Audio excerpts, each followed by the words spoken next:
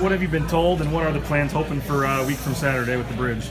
Well, everything we've been told is that it'll be open for game day. Um, I don't know if it's going to be completely finished by the time we kick, but we've been told that at least for a good 24-hour period that people will be able to drive and walk, and so we're hopeful that on game day we're, we're not going to have any problems. I know they've been they were working 24/7 on it, so uh, hopefully uh, what they've been telling us is true, and it'll be it'll be good to go on 10th on the 10th. What's the reaction been like? You, you were talking about the TV but, and all that for that first Yeah. game. Uh, Yeah. I'm not not overwhelmingly positive, I'm sure. But what's it been like? I know it's kind of out of your control. You know, it's it's been hard because I, I get the frustrations, but you know, like I've been saying, it, it kind of is what it is. I think we've we've tried to do as, as good a job as we can just to make sure our fans know how they can get it. And you know, worst case scenario is you have it on your phone, or your laptop, or your iPad, or you can probably just head down to a local restaurant and see the game as well. And uh, it was out of our control. If, if we had any control over it, we certainly would have tried to change it. And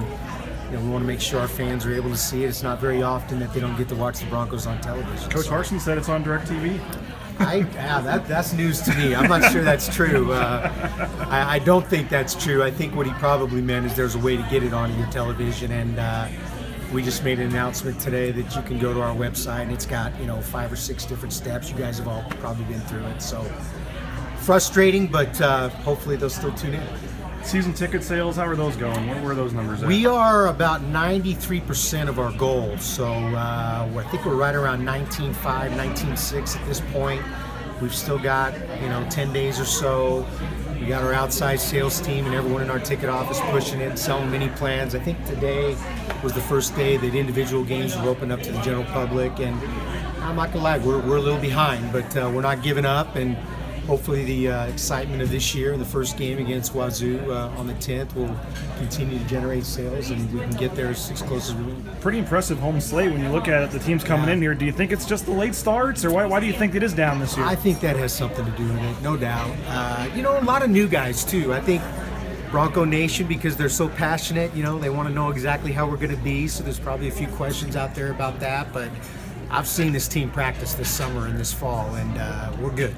And I'm really excited to see them get out and play. And you know, there's nothing like watching a game in Albertson Stadium on game day. And I, I just hope they come out and support our team.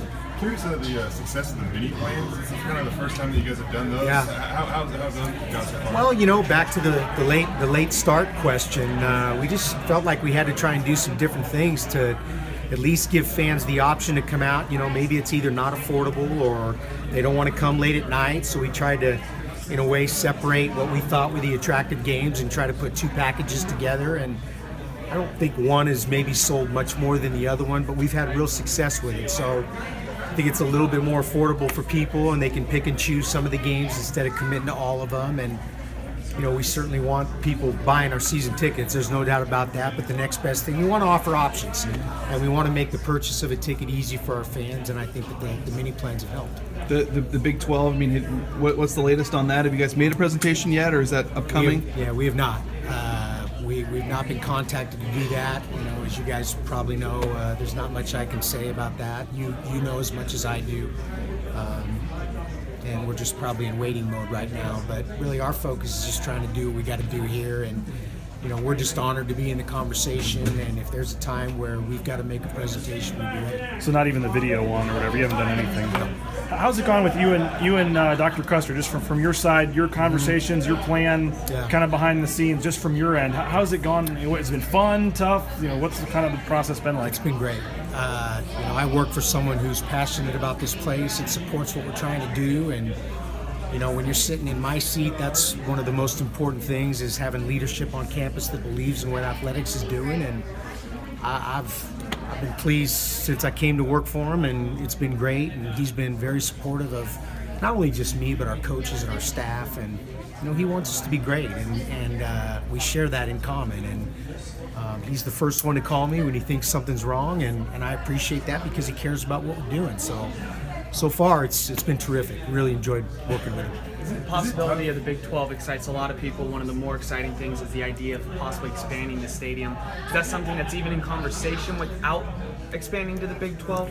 It always has been. Uh, you know, we talked about this two or three or four years ago. I can't even remember exactly when it was. And at that time, if you remember, we were actually thinking about lowering the field, and that's where that whole schematic kind of came together. Uh, for us, when you're expanding your stadium, it's important that if you can do it and give yourself the opportunity to actually generate revenue. You know, I'll give you an example. The, the football center is as nice as they're in in the country, but there's really no way to, you know, sell a ticket to it. So we've got to we've got to find ways to expand our stadium in a way that that fits what we can do here and set it up um, with the opportunity to hopefully have some revenue coming in to help pay for it. But uh, the conversation is always had uh, about expanding the stadium and you know, if need be in the future, maybe that comes sooner than later, then we'll address it at that The point. pictures everybody saw kind of freaked out or got excited. I mean, is that that's not the actual plan, is it? Or is there an actual it's secret a, plan it's somewhere? a schematic. Okay. The secret plan. Uh, not really. I, you know, we'll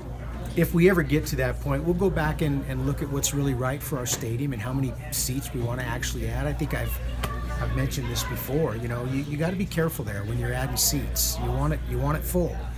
You know, Stanford's a great example. Some years back, when they redid it, they took away 15 or 20,000 seats, or, or something like that. I don't know the exact number, but and now they're they're full, and you can't get a ticket. And I I'd much rather see it that way. So I think we just have to be smart about moving forward. And um, we don't have a final design or a final schematic. We have a bunch of ideas and a bunch of drawings.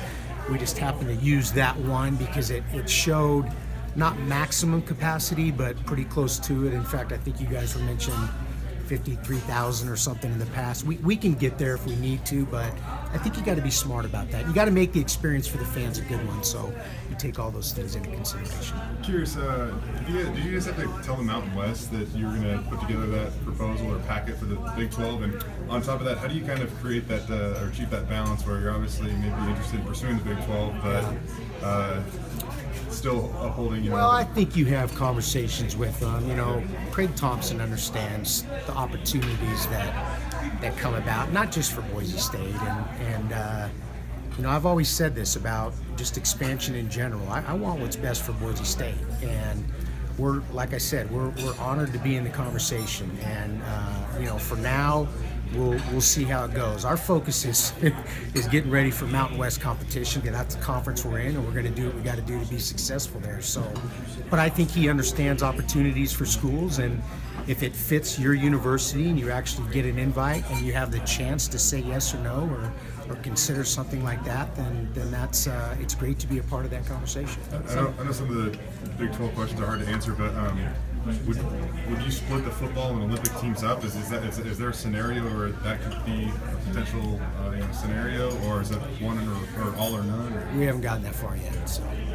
A sport that was brought up before the Big 12 came even came into play was baseball. Yeah. We've heard some rumors about it. Any update on a- any future for Boise State baseball? Not really right now. It's not off the table, but there's some other challenges that we've got to take care of before we go down that road. And uh, I, I still think having baseball at Boise State would be great, but I think you've got to find ways to have it and pay for it and make sure that it fits within your department going forward. And uh, it's not off the table, but it's it's not at the top of the list right now. Are you kicking around adding any other sports? I mean, whether it be it baseball or anything else, is that even is that something that that's a possibility, or are you are you set? Not right now? now, but you know, there's been all kinds of talk in the past about lacrosse and Mm-hmm. men's swimming and baseball and uh, field hockey and I think we even talked about bowling a few years back. It was starting to grow in the NCAA. Sorry, but uh, uh, not not at this point. With the game down there Saturday, um, how, how much have you been talking to them about the weather and stuff? I know some more rain Yeah. could be coming maybe uh, this week later this I actually but- talked to, or Scott and I shared some uh, messages earlier today, and his his call was basically just saying, "Hey, we're really looking forward to having you." And